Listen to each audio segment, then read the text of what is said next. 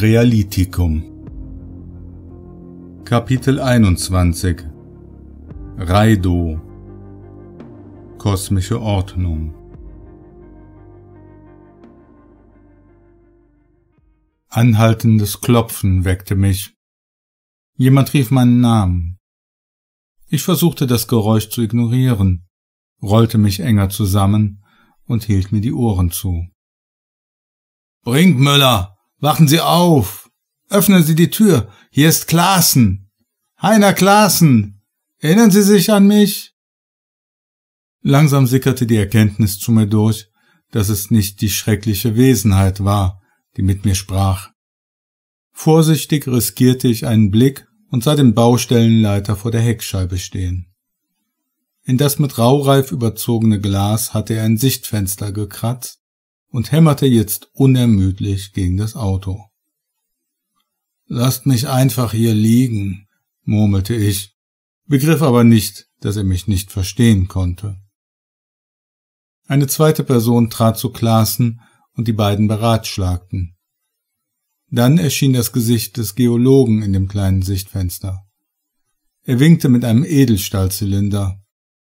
Ich starrte ihn verständnislos an. Hey Brinkmüller, rief er, wir haben für Sie einen heißen Kaffee mitgebracht.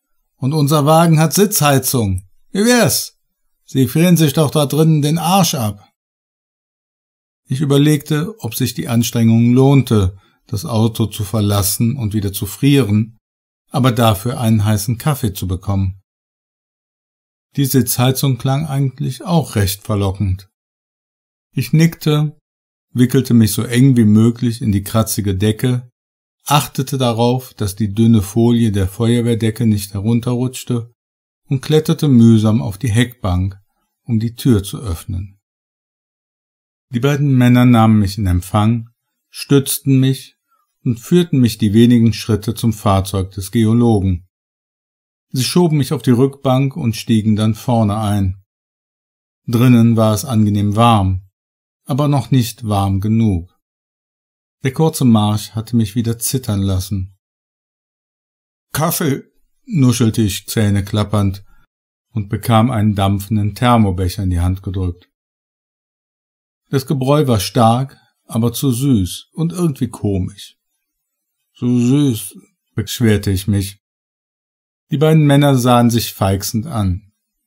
Mein Blick wanderte von einem zum anderen, wie sie über die Lehnen der Sitze gebeugt zu mir nach hinten starrten.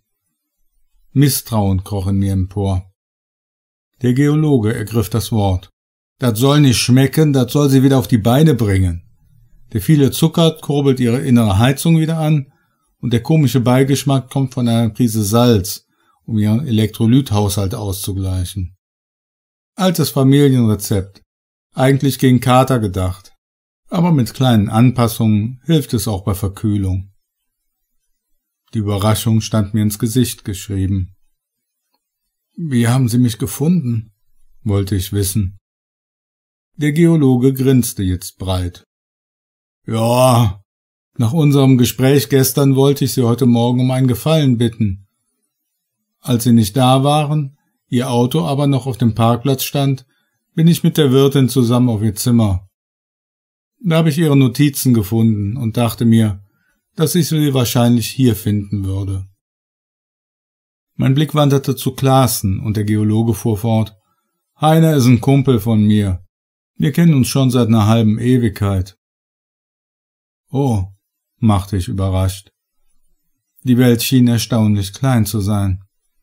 Mir fiel ein, dass Klaassen uns mit Gerätschaften und Arbeitskräften unterstützte, als die Höhle unter dem anhaltenden Regen gelitten hatte. Jetzt ergab das Sinn. Um es kurz zu machen, begann Klaassen. Wir haben Ihre Notizen mit den Forschungsergebnissen und meinen Baustellenmessungen zusammengelegt und brauchten dann nur noch eins und eins zusammenzuzählen. Ich nippte an dem Thermobecher. Das heiße Gebräu belebte mich tatsächlich allmählich. Die starke Mischung aus Zucker und Koffein brachte meinen Kreislauf langsam auf Touren. Zu welchem Schluss seid ihr gekommen? fragte ich vorsichtig. Ja, begann der Geologe und warf seinem Sitznachbarn einen unsicheren Blick zu. Zwei ist jetzt nicht unbedingt als Ergebnis herausgekommen. Wir wissen nicht genau, was das alles zu bedeuten hat. Aber es muss ja was zu bedeuten haben, richtig? Ich seufzte gedehnt und blickte in den Thermobecher. Glaubt ihr, dass es Dinge gibt, die man weder erklären noch verstehen kann? Eine kurze Stille trat ein. Dann ergriff Klaassen das Wort. Ich bin kein religiöser Mensch. Ich verlasse mich auf Erfahrung und Wissen. Aber bei dieser Baustelle ist einiges passiert, was ich als unmöglich bezeichnen würde. Außerdem weiß ich, dass Dieter ein guter Mensch war. Der hätte niemals so eine Schweinerei hier angerichtet, wenn er alle Sinne beieinander gehabt hätte. Da kann die Polizei sagen, was sie will. Der Dieter war eine ehrliche Haut. Sowas hätte der nicht gemacht. Nicht für Geld und nicht unter Zwang. Sie meinen den armen Teufel, der im Spalt gefunden wurde, begriff ich. Da unten zu sterben ist schlimm genug, aber ich fürchte, dass Volker noch etwas Schlimmeres zugestoßen ist. Klaassen warf dem Geologen einen fragenden Blick zu. Der Archäologe, erklärte dieser. Der hat sich eigentlich von Anfang an etwas sonderbar benommen. Aber wer rechnet denn damit, dass die Höhle einen gleich in den Wahnsinn treibt? fügte er düster hinzu. Was habt ihr herausgefunden? bohrte ich nach. Meine Stimme klang etwas fordernder als beabsichtigt, und die beiden Männer grinsten sich wieder feixend an. Immer langsam, Sie haben sich gefährlich unterkühlt. Wollen Sie sich nicht auskurieren? Ich schüttelte den Kopf. Ich weiß nicht, wie viel Zeit wir noch haben. Da unten ist etwas, das sehr gefährlich ist. Es ist in der Lage, irgendwie Kontrolle über Menschen auszuüben. Ich kann es weder erklären noch verstehen. Ich seufzte in den Thermobecher. Es klingt selbst in meinen Ohren lächerlich, wenn ich es ausspreche. Ich weiß nicht mal, wie ich hierher gekommen bin. Ich muss geschlafwandelt sein. Alles, was ich weiß, ist, dass ich um ein Haar nicht mehr aus der Höhle rausgekommen wäre. Und ich fürchte, dass Volker tot ist, stammelte ich. Es fiel mir schwer, darüber zu reden, weil ich immer noch Angst hatte, den Verstand zu verlieren und mir alles nur eingebildet zu haben. Keine Sorge, meinte der Geologe. Jetzt sind Sie ja nicht mehr allein. Wir haben tatsächlich wenig Zeit, aber aus einem anderen Grund. Er warf Klaassen einen kurzen Blick zu. Dieser nickte, und der Geologe fuhr fort. Ich gebe Ihnen die ultraknappe Kurzfassung, damit Sie verstehen, was wir vorhaben und sich uns hoffentlich anschließen werden. Ich nickte und bekam einen kurzen, aber sehr interessanten Bericht der die Sichtweise auf viele Phänomene der Höhle in ein neues Licht rückte. Durch Klaassen erfuhr ich, dass die Höhle noch vor einem Jahr gar nicht existierte. Man hatte im Vorfeld des Straßenbauprojektes penibel darauf geachtet, dass keine Hohlräume unter der Straße lagen. Die üblichen Vorortmessungen belegten, dass der Untergrund an dieser Stelle solide sein sollte. Als sich die Baustelle allmählich dem Ort näherte, der jetzt die Doline bildete, begannen die Arbeiter sich häufig sonderbar zu benehmen. Manchmal wirkten sie abwesend, dann waren sie leicht reizbar, es kam vermehrt zu Krankmeldungen und Bitten, einem anderen Projekt zugeteilt zu werden. Das Projekt geriet in Verzug, weil das Tagespensum nicht mehr zu schaffen war. Klaassen selbst gestand, dass auch er mehrfach dem Eindruck erlegen war, ein Pochen oder Klopfen aus dem Boden zu bemerken. Nicht als Geräusch, sondern mehr als Empfindung, die man mit dem ganzen Körper wahrnahm. Anfangs versuchte der Baustellenleiter das Team stärker durchzumischen, so dass die Arbeiter den zusätzlichen Stress auf anderen Baustellen ausgleichen konnten.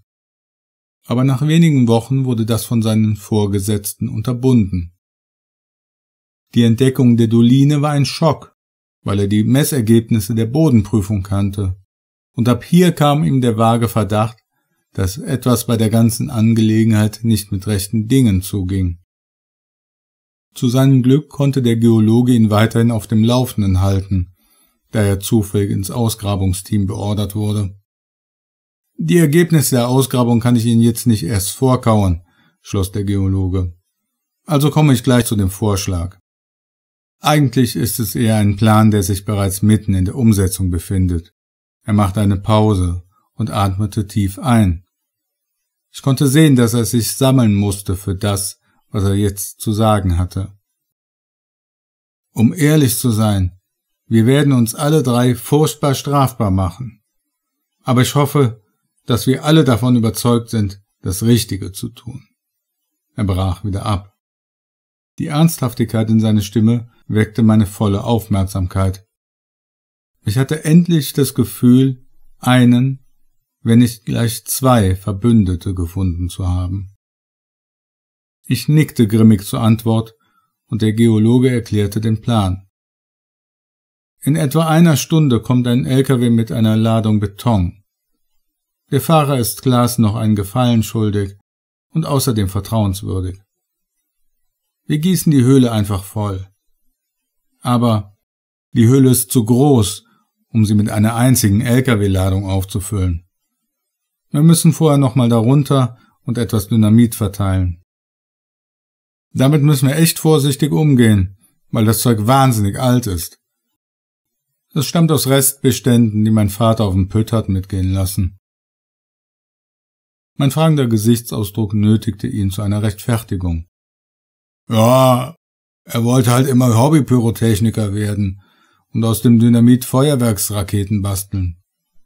Hatte aber nie Zeit dafür, weil seine Taubenzucht ihn ständig auf Trab gehalten hat. Den Sprengstoff hat er jahrzehntelang aufbewahrt und mir dann auf dem Sterbebett geschenkt. Ich hätte nicht gedacht, dass ich da mal eine Verwendung für hätte. Ich nahm das einfach so hin und nickte. Jetzt war nicht der richtige Zeitpunkt, um die Rechtschaffenheit meiner Mitmenschen zu diskutieren. Wenn wir da runtergehen, können wir keine Taschenlampen als Lichtquelle nutzen. Es gibt einen unheimlichen Effekt, wenn das Licht zu viel Blauanteil besitzt, gab ich zu bedenken. Das haben wir in Ihren Notizen gelesen. Im Kofferraum liegen acht Infrarotlampen. Damit sollten wir hoffentlich den ganzen Weg ausleuchten können, bemerkte Klaassen. Ja, dann, stammelte ich überrumpelt, packen wir es an. Ich warf die Decke von meinen Schultern. Was? Wollen Sie wirklich so in die Höhle kriechen? entgegnete der Geologe belustigt, und ich blickte ihn verständnislos an. Wenn Sie sich noch fünf Minuten gedulden können, dann leih ich Ihnen meine Ersatzschuhe und eine warme Jacke, lachte er.